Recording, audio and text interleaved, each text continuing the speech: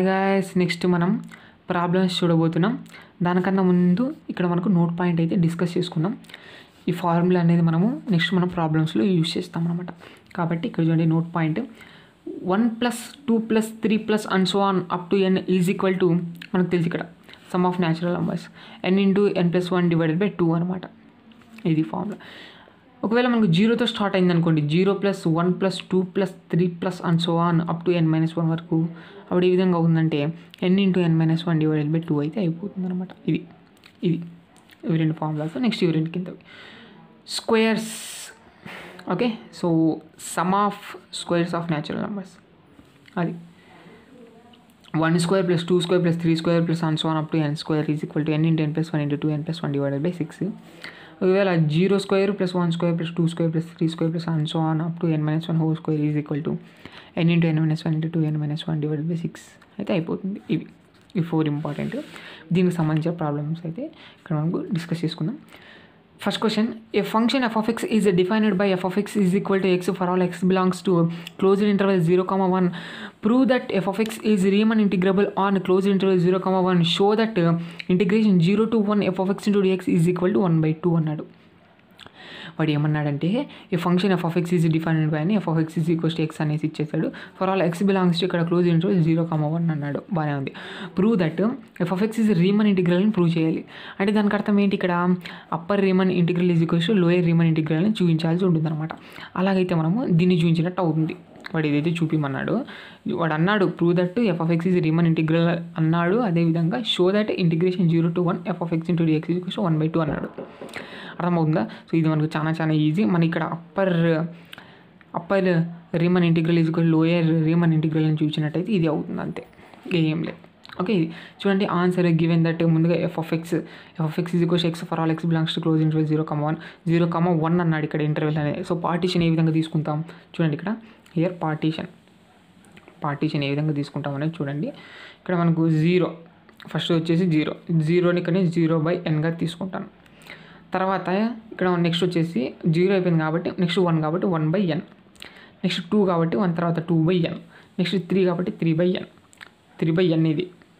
Okay and so on r minus one divided by n next r by n and so on n by n మరి n n cancel చేసినట్టయితే ఏమవుతుంది? One వచ్చేస్తుంది. ఓకేనా so ఇక్కడ వచ్చేసి zero. Zero by three zero. So zero one అనమాట ఇది. ఇక్కడ వచ్చేసి ఇంటర్వెల్ ఈ విధంగా ఉంది. ఇక్కడ నేను ఎన్ బై ఎన్ని వన్ బై ఎన్ ఇంటూ ఎన్గా కూడా రాసుకోవచ్చు అనమాట మీ ఇష్టం ఎలాగైనా రాసుకోండి. ఎందుకంటే ఇది క్యాన్సిల్ అయినా వన్ అయిపోతుంది మరి. ఈ విధంగా రాయడం జరుగుతుంది అనమాట ఓకే ఇది మనకు I one I two I three ఇది ఐఆర్ ఇక్కడ ఇది ఐఎన్ దీ దీంట్లో ఏం కన్ఫ్యూజ్ పడాల్సిన కన్ఫ్యూజ్ పడాల్సిన అవసరం అయితే ఏమైతే లేదనమాట. ఇప్పుడు మనకు I one I two I three అవన్నీ రాసేసుకుందాం.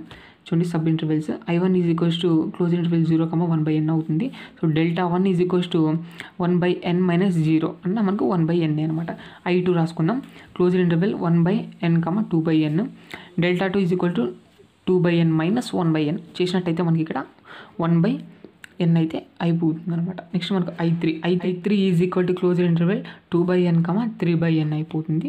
Delta three is equal to three by n minus two by n అంటే వన్ బై ఎన్ అయితే అయిపోయింది అనమాట ఇవన్నీ ఈక్వలే నెక్స్ట్ ఐఆర్ చూసుకుందాం. IR is equals to r minus one divide by n comma r by n ఇది small MR ఇది capital MR delta r is equals to r by n minus of r minus one divide by n is equals one by n అయితే అయిపోతుంది. మీరు solve చేయాలి ఇదంతా. Okay? ఇది. So అన్నీ మనకి ఇక్కడ ఈక్వల్గానే వచ్చింది కాబట్టి మనకు delta one is equals delta two is equals delta three and so one delta r and so one delta n కూడా is equals to one by n అయితే అయిపోతుంది అనమాట ఇది. ఇప్పుడు మనం ఎల్పిఎఫ్ కనుక్కుందాం. ఓకే ఎల్పిఎఫ్ అంటే ఇక్కడ ఏంటి? ఇక్కడ lower Riemann integral is equals upper Riemann integral అని చూపిస్తున్నాం కాబట్టి ఇక్కడ మనకు LPF LPF is equals to summation r is equals to one to n small MR delta r అనమాట ఇక్కడ మనకు ఎంఆర్ దేనిపై డిపెండ్ అయి ఉంటుందంటే ఫంక్షన్ పైన డిపెండ్ అయి ఉంటుంది. F of x is equals to x కాబట్టి ఇంకా మనకు ఎంఆర్ఏ అయిపోతుంది అనమాట ఇది. సో ఎంఆర్ అంటే ఏంటి ఇక్కడ? ఇది.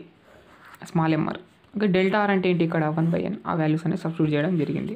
ఇక్కడ మనకు ఇక్కడ కింద ఎన్ ఎన్ ఉంది కాబట్టి ఎన్ అంటే ఎన్ అంటే ఎన్ స్క్వేర్ అయిపోతుంది. ఇక్కడ మనకు వన్ బై ఎన్ స్క్వేర్ అనే కాన్స్టెంట్ బయట పెట్టేస్తాను ఎందుకంటే సమ్మేషన్ అప్లై చేయాల్సి ఉంటుంది. So one by n square అని బయట పెట్టేసినట్టయితే summation all is question one to n ఇక్కడ ఆర్ మైనస్ వన్ అయితే అయిపోతుంది. పైన r minus one into one అంటే ఆర్ మైనస్ వన్ ఈ విధంగా అయితే అయిపోతుంది. మనకు r is equals one substitute చేద్దాం. అప్పుడు మనకు వన్ మైనస్ వన్ అంటే జీరో అయిపోతుంది కాబట్టి జీరో. నెక్స్ట్ మనకు టూ సబ్స్టిట్యూట్ చేద్దాం. టూ మైనస్ వన్ అంటే one plus and so one up to n minus one దాకా అయితే అయిపోతుంది అనమాట ఈ విధంగా అయితే జరుగుతుంది రావడం జరుగుతుంది. నెక్స్ట్ అప్ టు ఎన్ పెట్టండి ఇక్కడ. ఎన్ పెట్టినట్టయితే ఆర్ ప్లేస్లో ఎన్ మైనస్ వన్ అయితే వచ్చేస్తుంది. అదే చివరిది. అది అనమాట సో మనకి ఇదంతా ఫార్ములా తెలుసు మనకు. ఏంటి ఇక్కడ n into n minus one divided by two? ఈ విధంగా. ఇక్కడ చూసినట్టయితే ఒక ఎన్ ఎన్ క్యాన్సిల్ చేయొచ్చు ఇంకొక ఎన్ ఉంటుంది. అదేవిధంగా ఇక్కడ ఎన్ అనేది కామన్ తీద్దాం. సో ఎన్ కామన్ తీసినట్టయితే అప్పుడు one minus one by n అయితే అయిపోతుంది.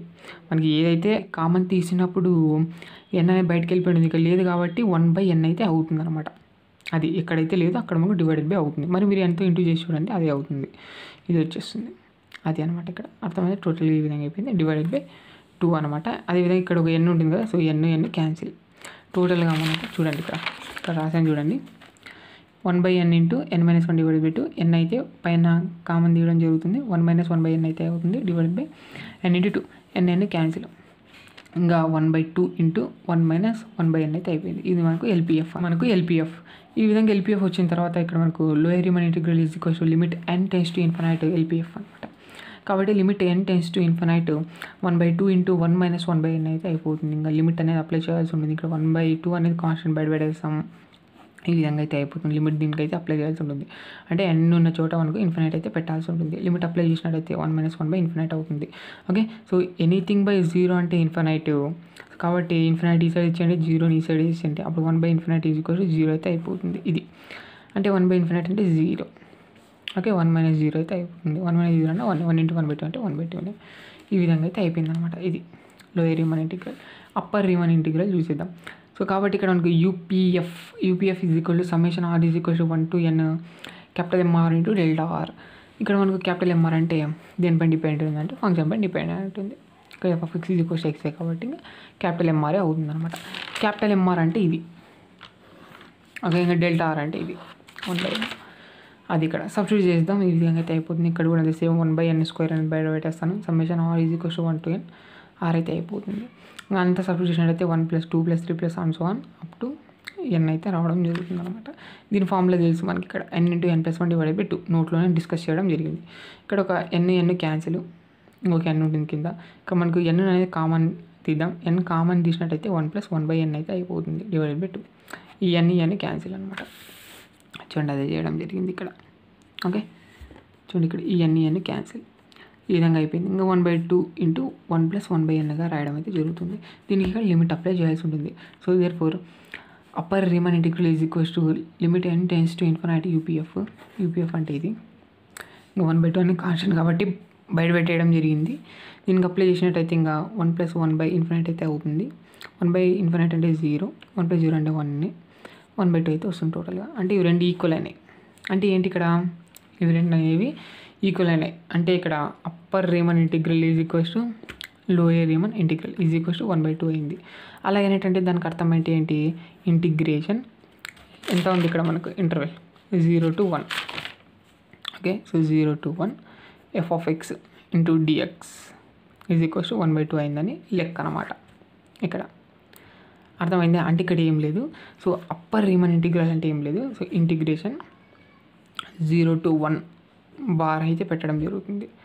Into F of X D X is equals to lower Riemann integral అంటే integration zero bar to one F of X into D X చేసినట్టయితే is equals to ఇంటిగ్రల్కి equal అనమాట so integral zero to one F of X into D X అనమాట ఇక్కడ మూడు values same one by two అనమాట. ఇది ఇలా ఉన్నట్టయితేనే రిమన్ ఇంటిగ్రల్ అవుతుంది. దీని the given function F of X is equals to X is Riemann integrable అంతే.